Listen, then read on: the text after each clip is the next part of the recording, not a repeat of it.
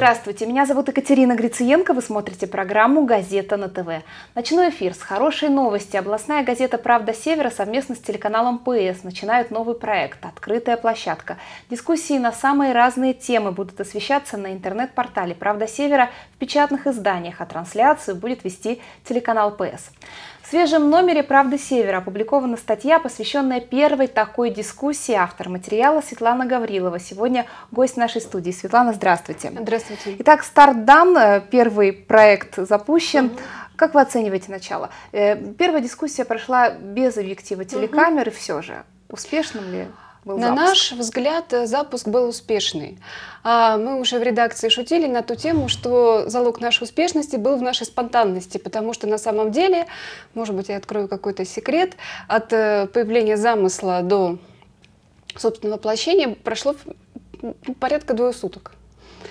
Вот. А что нам очень понравилось, то, что наши эксперты откликнулись очень быстро, то, что они были максимально открыты а, как сказать, а, в последнее время наше информационное поле, оно вообще создавало впечатление, ну, скажем так, ровного стола иногда. А, нам иногда казалось, что экспертов-то, может быть, и нет, и никто не хочет разговаривать.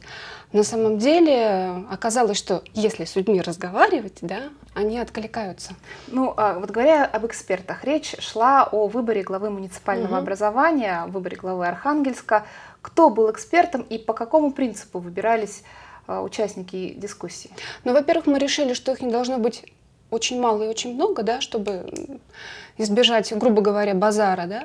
Вот. А с другой стороны, нужно было соблюсти э, хоть какой-нибудь баланс. Поэтому у нас есть э, представитель областного правительства, это исполняющий обязанности министра по вопросам внутренней политики, местному самоуправлению Алексей Хоробров. У нас есть э, представитель, собственно, конкурсной комиссии, да, депутат городской думы Дмитрий Акишев. А у нас есть представитель областного собрания депутатов, как от «Единой России», так и от оппозиционной партии а, Станислав Торый и э, Александр Новиков. И у нас э, есть эксперт, которого мы, мы назвали таким независимым экспертом, человек, который напрямую сейчас уже не близок к власти, но с другой стороны это аксакал муниципальной политики Александр Петрович Иванов. Вот такой был принцип. Светлана, говорили о нашумевших угу. одноглавой и двуглавой системах. К какому выводу пришли? А, нельзя сказать, что мы пришли к какому-то однозначному выводу. Это было невозможно, потому что э, наши эксперты, люди с очень разными взглядами, в том числе вот и на эту тему.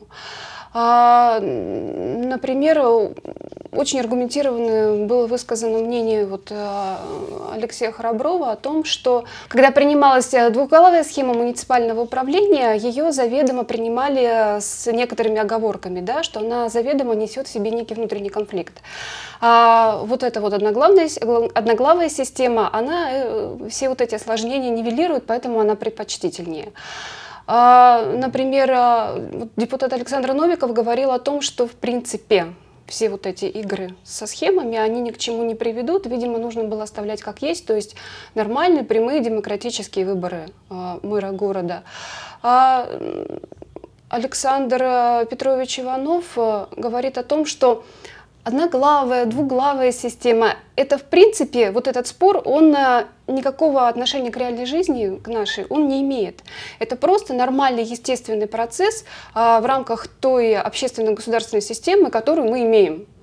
Мы можем, конечно, его там обсуждать, спорить, принимать ту или иную схему, но а, в конечном итоге процесс будет идти сам по себе, в общем-то, независимо от нашего. Я бы вот как раз хотела привести да, слова да. Александра uh-huh. Иванова, эксперта, сейчас власть уже абсолютно не нуждается в обществе и стала самостоятельным субъектом. И все, что происходит сейчас с этими законами, со всеми остальными делами обществу перестает быть интересным, потому что оно понимает, что должно само как-то выживать. В конце концов, это приведет к очередному отрицанию власти, к перестройке государства в седьмой или восьмой раз в нашей истории. Поэтому просто надо правильно определить тот предел, когда это все наступит.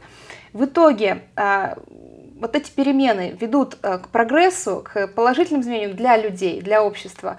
Или же они не изменят ничего, это какой-то э, совершенно ну, неоправданный шаг. С точки зрения, ну давайте вот с точки зрения Александра Иванова, эксперта. Ну вот насколько мы видим, Александр Петрович считает, что это просто нормальный процесс, который ну вот он сам по себе естественный, да, там, наверное, это я, вот я уже от себя скажу, да, как э, там рождение, развитие человека, смерть там и так далее. То есть мы порождаем новую мы власть. Мы порождаем новую власть, она каким-то форму, ну, форму, так, да, да, да, да, она э, своим вот уже заданным путем развивается. Потом мы ее все равно да. захотим изменить, ибо она э, оправдывает свое, свою несостоятельность.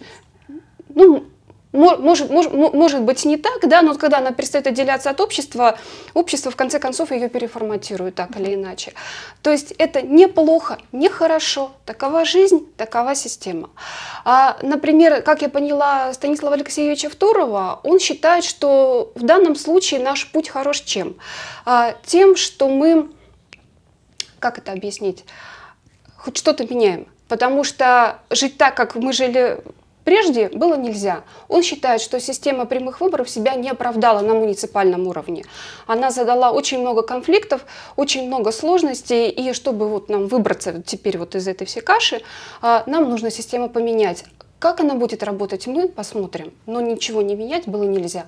Вот Примерно вот такие мнения. Но проблемы поднимались на самом деле глобальные, угу, вот, взаимоотношений угу. власти и общества, а показательно низкой явки на выборы. Да. Вообще, что говорили о вовлеченности э, общества, общественности вот, э, в выборы при такой, при новой схеме?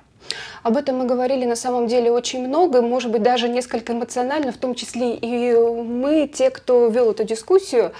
А, потому что нам, например, казалось, что э, весь вот этот вот сегодняшний процесс, вот этот вот, условно говоря, выборный, он проходит в некотором полусне что общество в нем практически не задействовано. Может быть, от того, что не заинтересовано, может быть, от того, что мало информировано, скорее всего, и то, и другое.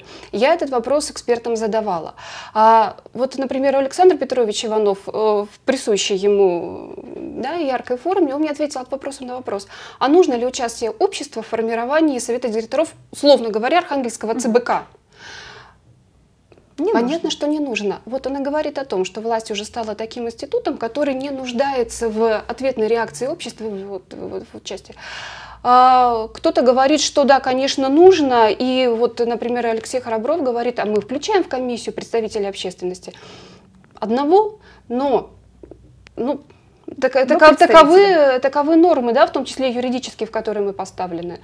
Вот тоже вопрос открытый. Мы, естественно, со своей стороны считаем, что нужно гораздо больше э, с людьми разговаривать, им все объяснять и получать ответ.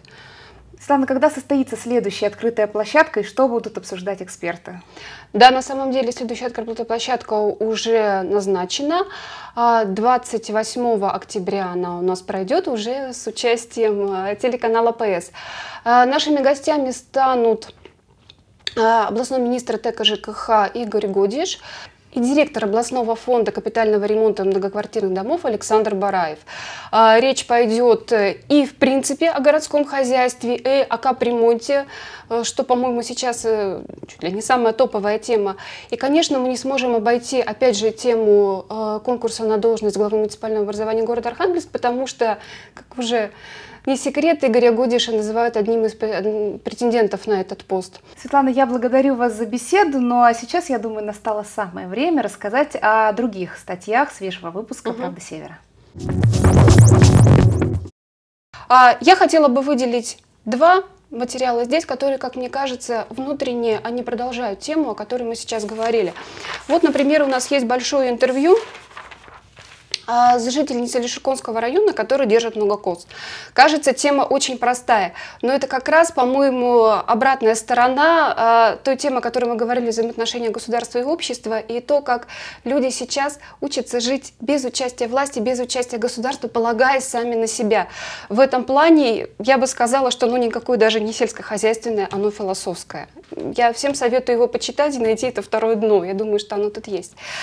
И второй материал, он как раз затрагивает э, тему открытости и публичности. Только публичности нашей и ответственности за нее. А, это публикация страница личная и публичная в нашей постоянной рубрике «Законы мы». А, здесь у нас а, различные эксперты, специалисты рассказывают о том, какие опасности таят в себе наша чрезмерная открытость э, в социальных сетях, в том числе и в юридическом аспекте. Мне кажется, очень важно с точки зрения, наверное, даже личной безопасности с этим всем ознакомиться и иметь это в виду. Вот. А так, в принципе, очень хороший номер, который достоин того, чтобы его прочитать. Смотрите газету на ТВ, читайте «Правду Севера». Увидимся через неделю. До встречи.